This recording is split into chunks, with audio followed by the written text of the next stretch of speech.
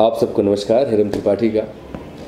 और सबको बहुत बहुत बधाई रक्षाबंधन की। जी। आपके नमस्कार करने का तरीका बिल्कुल नेताओं से मिल रहा है। या उत्तर प्रदेश से हैं तो कहीं ना कहीं चीज़ें तो रहती ही। मुहूर्त किया है तो थोड़ा सा जानकारी चाहेंगे आपसे। जी बहुत ये बहुत हमारे लिए बहुत खुशी की बात है। हमारी शुरुआत जो है सीधा सीएम साहब से हो रही है। और सीएम साहब ने इसका मुहूर्त किया फ़िल्म का क्लैपिंग किया। बहुत सारी शुभकामनाएँ दी हमारी फ़िल्म के लिए। तो किस तरह की कहानी है बंदा नवाज़ में? सर, एक बंदा है जो, जिसको एक बुरी तरह से नवाजा जाता है। एक्चुअली हमेशा रहा है कि नवाज़ एक सही अर्थ को दिया जाता था कि भाई, आपने इस चीज़ को बहुत अच्छे से नवाजा है। लेकिन यहाँ थोड़ा सा उस चीज़ को विपरीत है, उल्टा है।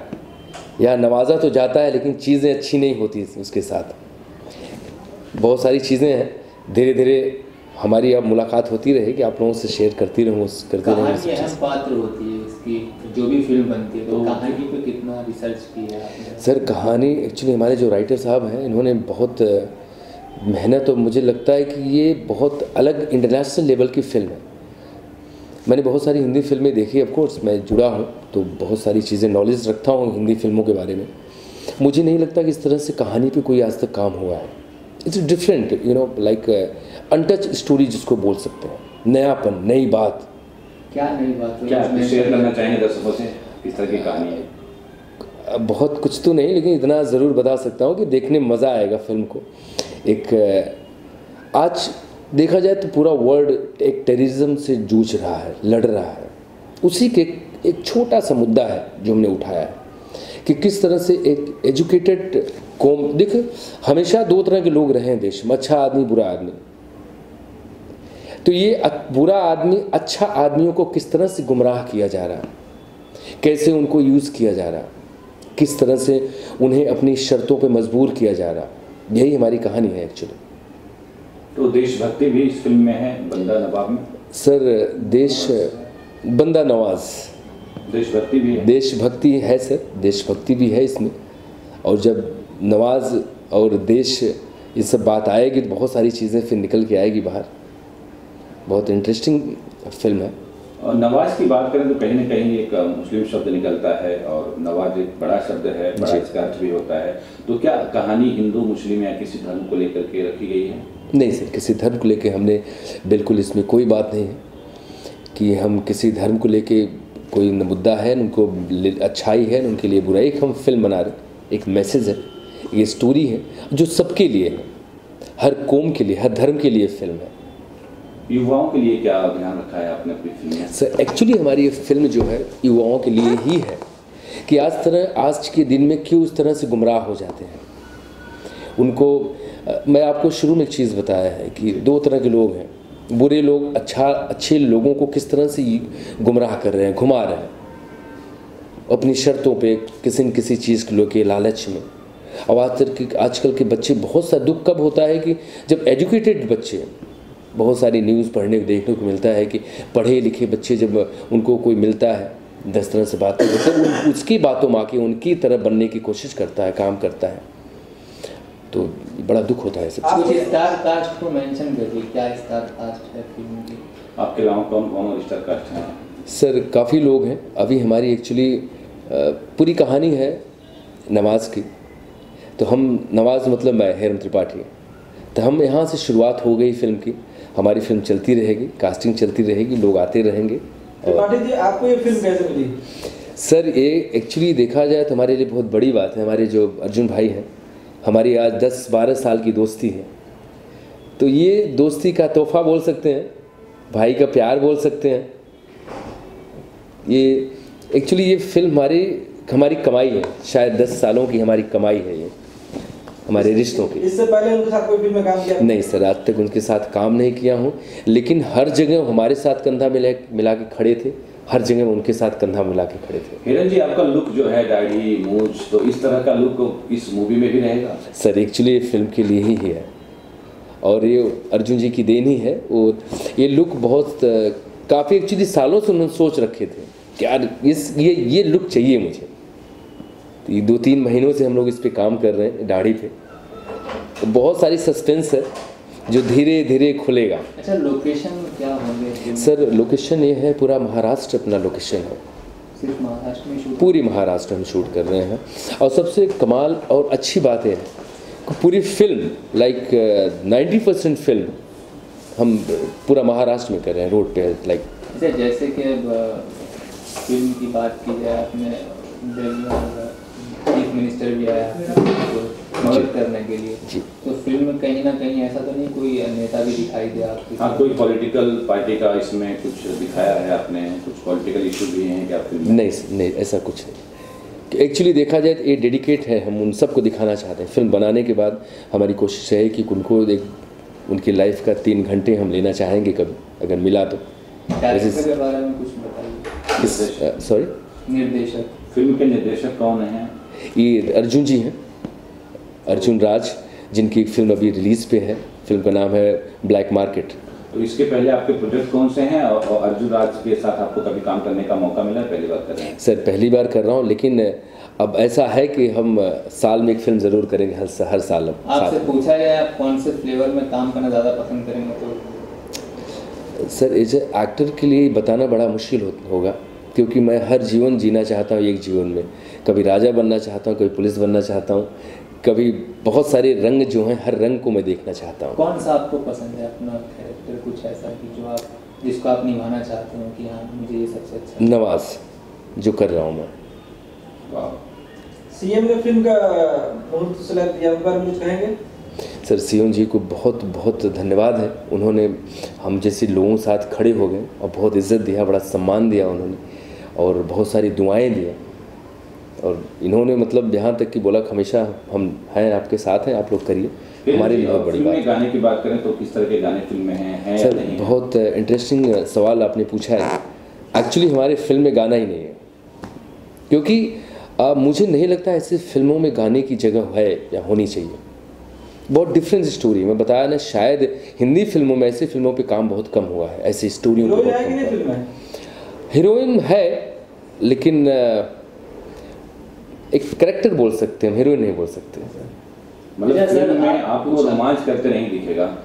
नहीं सर एक्शन दिखेगा इमोशन दिखेगा दिखेगा ड्रामा दिखेगा लेकिन रोमांस नहीं दिखेगा। कुछ अपनी स्टोरी बताइए आप इससे पहले आपने क्या किया सर- आने वाले प्रोजेक्ट में कौन कौन से? सर मैंने मैं थिएटर से हूँ कई साल मैं थिएटर किया हूँ और मुंबई शहर में बहुत सारी बहुत सारा टाइम दिया हूँ। अभी मेरी फ़िल्म रिलीज़ पे है खामियाजा जो अक्टूबर में रिलीज़ हो रही है। पी रिलीज़ कर रही है।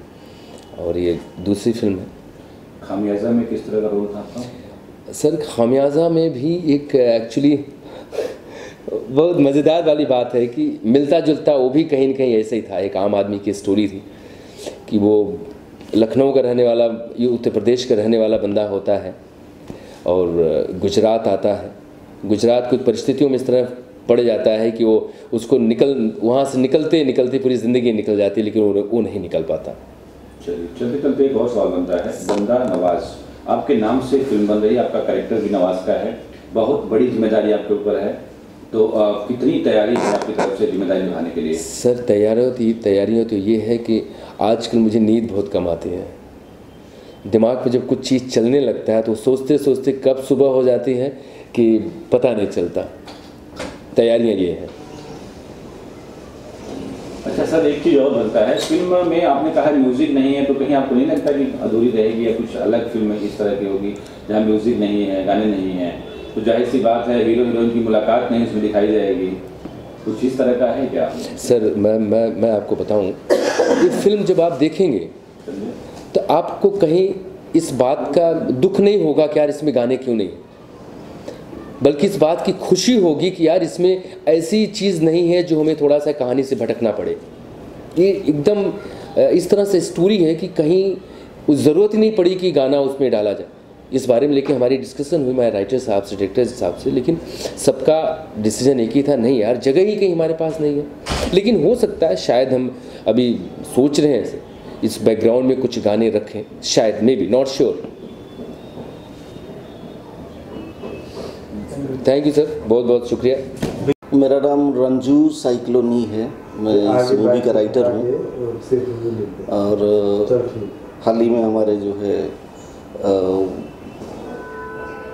मुख्य कलाकार हिरंग जी ने जैसे कि आपको पहले से हिंट दे दिया है तो इसको कंटिन्यू करते हुए मैं आपको बताना चाहूँगा। बेसिकली बिंग ए राइटर मैंने इसको पेंट कैसे किया है? बेसिकली बंदा नवाज़ एक सब्जेक्ट है जिसे काफ़ी पहले से रिसर्च किए हुए कई सारे रिसर्चेबल पॉइंट्स जो थे मेरे पास एक्सक्लूसिव पॉइंट्स थे, उनमें से एक पॉइंट को बेस करके डिज़ाइन की गई है। So what is it actually मैं आपको बताना चाहूँगा।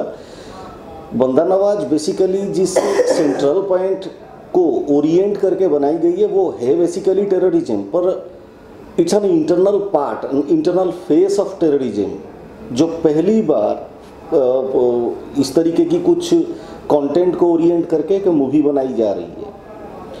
अच्छा जैसे जैसे अभी हाल ही में समाज में काफ़ी बदलाव हुआ है या हो रहा है या डेवलपमेंट हो रहा है, ठीक है, उसी तरीके से इंटरनली या एक्सटर्नली रूप से टेररिज्म ऑर्गेनाइजेशन जो भी है इंटरनेशनली लेवल पर, वो भी डेवलप कर रहे हैं। और किस तरीके से डेवलप कर रहे हैं, इसका रिज़ल्ट डायरेक्ट आउटपुट के रूप में पूरी दुनिया को देखनी और झेलनी पड़ रही है। सो so, उसे ख़त्म करने के लिए डेफिनेटली हर कंट्री के जो रिस्पॉन्सिबल पर्सनालिटीज़ हैं वो कटिबद्ध हैं वो डेफिनेटली वो तो दिख उसके रिजल्ट्स भी दिख रहे हैं।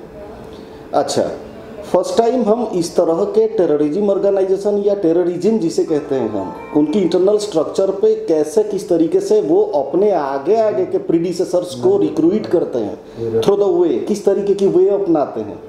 ये अपने आप में एक अछूत पॉइंट है जो जिसे हम अनटस्ड कहते हैं।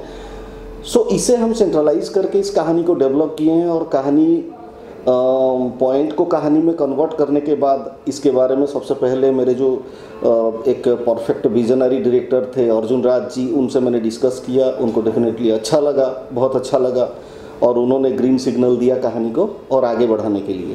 तो कहानी फ़िलहाल कंप्लीट है और उनके साथ बाकी आगे के जो पोर्शंस के काम फाइनल टच देने के लिए वो चालू है। इसके पहले आपके प्रोजेक्ट कौन सी फ़िल्में आप, आपकी कहानी को कौन सी फ़िल्मों में फिल्माया गया है? इससे पहले देखिए नियर अबाउट पिछले 25 साल से एज ए राइटर मैं यहाँ काम कर रहा हूँ। सुराग सीआईडी शक्तिमान कोई है थ्रिलर एट टेन समेत near about 24 serials I have done already as a writer छः मूवी कंप्लीट हो चुकी है जिसमें से हाल ही में एक down of the exit movie Aiyaary के साथ रिलीज़ हुई है। और आगे एक मेरी आने वाली मूवी बरेली टाइम्स भी रिलीज़ को है और जी के साथ और भी कई कंपनियों के साथ मेरी आगे की मूवी चालू हैं प्रोजेक्ट्स भी चालू हैं। इसमें जो कहानी है बिल्कुल आधुनिक तरीके से फिल्माई जाएगी। कहानी भी आपको बिल्कुल आधुनिक दिख रही है तो क्या कहना चाहेंगे? जी ये हार्डकोर मॉडर्नाइज तरीके से इसको बनाया जा रहा है और एक्चुअली क्या होता है मेरे नियर अबाउट 25 साल के राइटिंग कैरियर में मैं बहुत कम ऐसे लोगों से मिला हूँ जो प्रॉपर एंड परफेक्ट तरीके से एक हीरे को परख पाए। कहने के लिए तो हम नॉर्मली तरीके से बहुत सारे ऐसे गहरी बातों को आम तरीके से कहे जाते हैं। उसे पकड़ने वाले भी नहीं पकड़ पाते नहीं पकड़ने वाले उसे जज कर जाते हैं।